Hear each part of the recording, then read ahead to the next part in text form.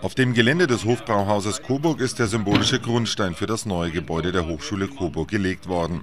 Auf den freigelegten historischen Gewölbekellern direkt neben dem Hofbrauhaus soll ein zweigeschossiges Gebäude mit über 5000 Quadratmeter Nutzfläche entstehen, in dem künftig die Fakultät Design untergebracht wird.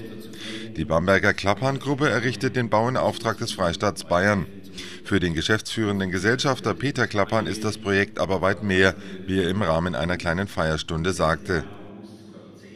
Das Besondere hier in Coburg an diesem Standort war vom Anfang an äh, dieser Standort als solche, diese, die, diese historische Vergangenheit, diese, diese, äh, der Altbau und dieses Einfügen des Neubaus in, in, in dieser landschaftlich reizvollen Umgebung und äh, unter Einbeziehung der, der wundervollen, riesigen historischen Keller, in dem mal Bier gelagert wurde.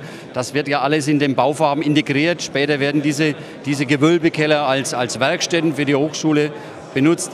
Das ist, einfach, das ist einfach was Spannendes, das macht man nicht alle Tage, das ist kein Objekt auf der grünen Wiese. Architekt Harald Eichhorn erinnerte an die wechselvolle Geschichte des Hofbrauhaus-Areal. Sein Büro sei bereits seit 1993 mit dem Projekt befasst. Nach dem ersten Bauabschnitt um das Jahr 2000 sei der jetzt folgende zweite Bauabschnitt mit dem Neubau eine besondere Herausforderung. Also grundsätzlich erstmal die große Herausforderung oder das, äh, also diese Emotionalität, die ja für uns Architekten dabei ist, auch meinem Büro, dass wir jetzt eine, eine, eine komplette Gestaltung dieses Geländes bekommen eben mit diesem zweiten Bauabschnitt und dass dieser zweite Bauabschnitt auch die Gewölbe, also diese ganzen, die, die typische Charakteristik dieses Hofbräus durch diese Gewölbe erhalten konnten. Für die Fakultät Design geht ein Traum in Erfüllung, das betonte Professor Michael Heinrich, Vizepräsident der Hochschule Coburg, selbst an der Fakultät beschäftigt. Sie wissen ja, zwei Studiengänge sind bisher noch im Provisorium in der SÜG untergebracht. Die waren auch vorher am Campus oben, am Hauptcampus untergebracht, sodass es für uns alle jetzt etwas ganz Neues sein wird, auch räumlich hier zusammengelegt zu sein.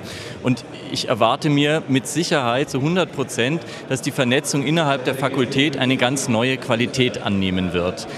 Zusätzlich bekommen wir ja hier eine Mensa, eine Cafeteria. Das habe ich schon in meiner Rede auch gesagt.